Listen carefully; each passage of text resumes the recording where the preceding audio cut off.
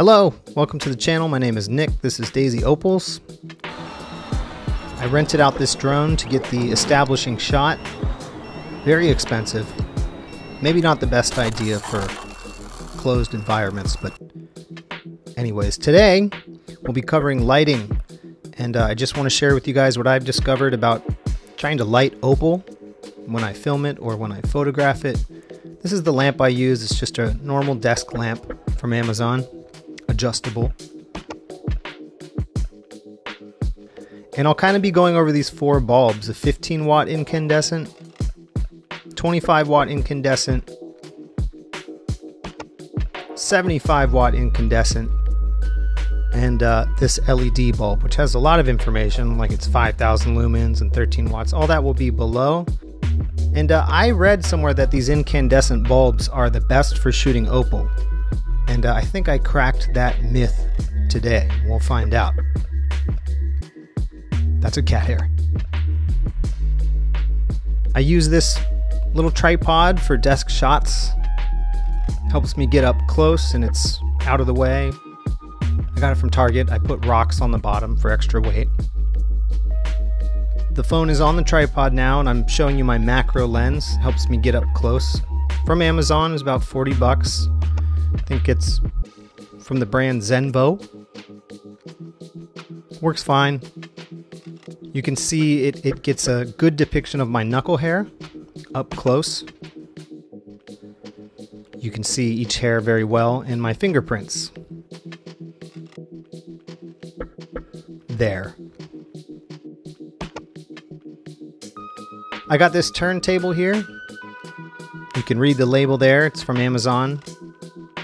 And uh, I've covered it in this felt velvet type of stuff that I use. And I've covered the light on the bottom with tape. I've marked the center there, very important, or your stone will look like it's spinning wildly out of control. And I always kind of, when I shoot on my desk, I, I put white paper over all the colorful things on my desk because I don't want that to reflect into the opal. This is with the 75 watt incandescent. And uh, I've changed the exposure here. Less exposure works a little bit better. Always remember to adjust your exposure. You can see on the left, there's not as much detail in the pattern than on the right. It's a slight difference, but it's very important. This is the good material right here. Yeah, that that's a problem. You're always going to want to get the hair off of it if you have cats. And this is the bad material that I got. I'm not sure what it is, but it, it was too reflective.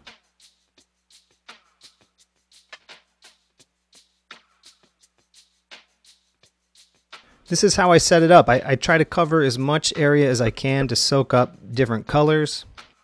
Got the music going. And I center it. I center that where the stone is going to be. And I also switched to this tripod. It helps me get even closer without bothering the turntable.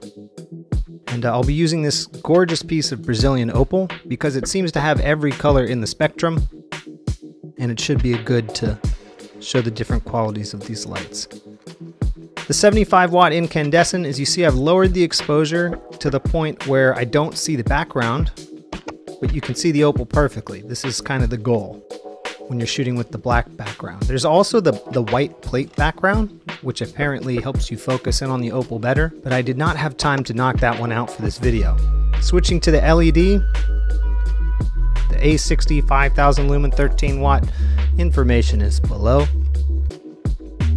Back to the 75 watt, it's kind of yellowish compared to the LED. And I, I think I've been using the 75 watt incandescent and I really like this LED more. This is a 15 watt.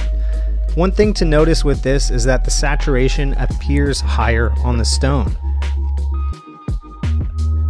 If you see a dark photo of an opal like this, beware of the saturation.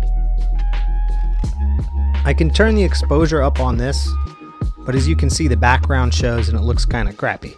So watch out for low light photos. Just mind that the saturation may not be what it appears.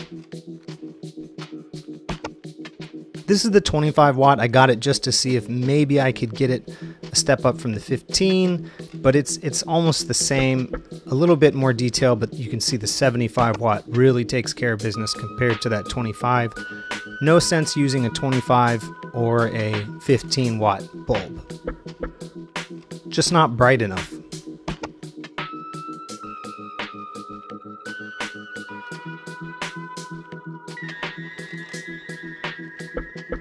75 watt does look good.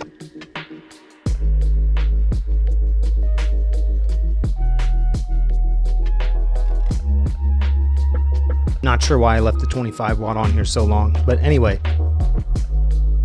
This is the LED.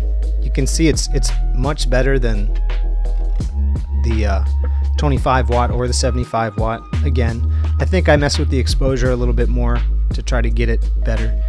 The, the color is just very honest with the LED. That's the thing. The incandescents have a bit of a yellow hue to them.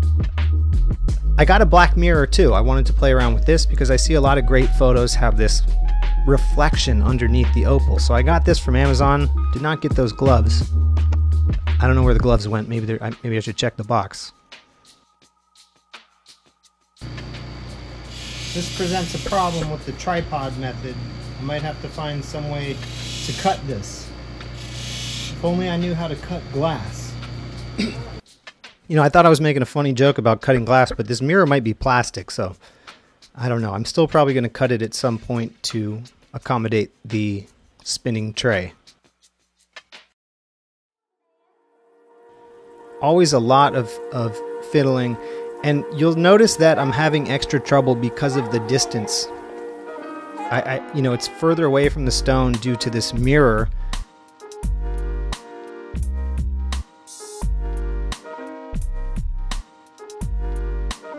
Bumping up against the tripod. So I just I just started with still videos so I could get a little closer. So that's what you're seeing now. And it looks pretty cool with that reflection. It was hard to get the exposure correct. Here's the uh, Contraluz opal course, spending forever messing around with different angles and trying to get the light in the right place to show that special color. I really, really love this stone.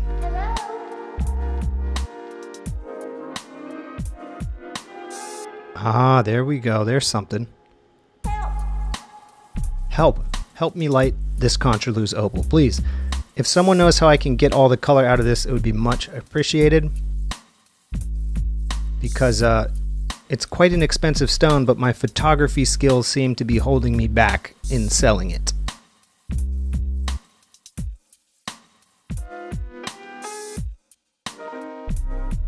So overall, I think the LED is the winner. That's what I'm going to be using from now on, and that's what I would suggest you use.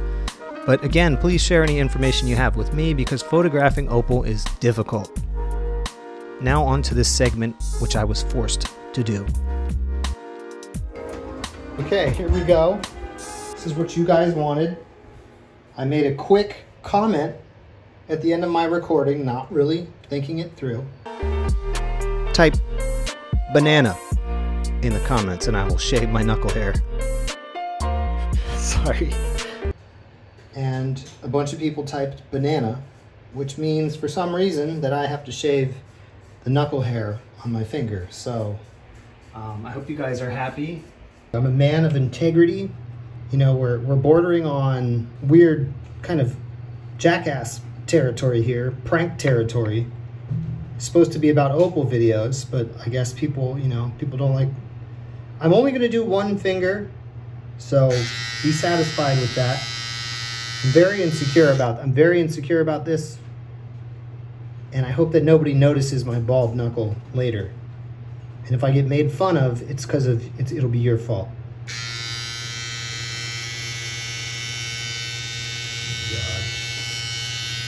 There. Oh, wait, there's a little, let's do a good job. If we're gonna do it, let's do a good job.